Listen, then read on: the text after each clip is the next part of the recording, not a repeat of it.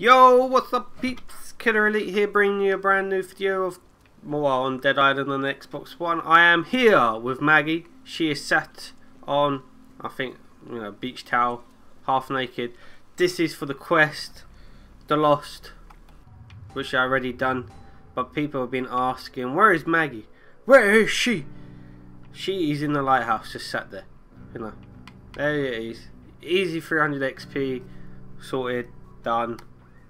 Uncle, and I will see you in my next video. Peace out. Bye.